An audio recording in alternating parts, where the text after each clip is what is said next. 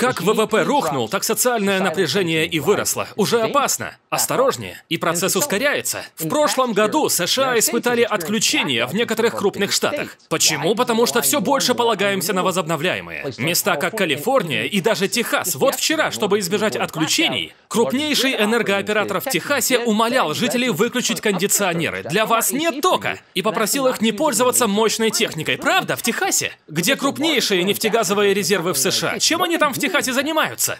И это по всей стране. Орландо во Флориде недавно экспериментировал с запретом удобрения для, цитата, «снижения загрязнения». А мировой экономический форум хочет этого всего еще больше. Они только что выпустили бумагу, призывающую страны, цитата, «согласиться перестать обесценивать ископаемое топливо, что принципиально для перехода к чистой энергии». Другими словами, оно слишком дешевое и слишком хорошо работает. Бензин должен быть дороже, чтобы вы не могли его использовать. Так что вам нужно быть нищими.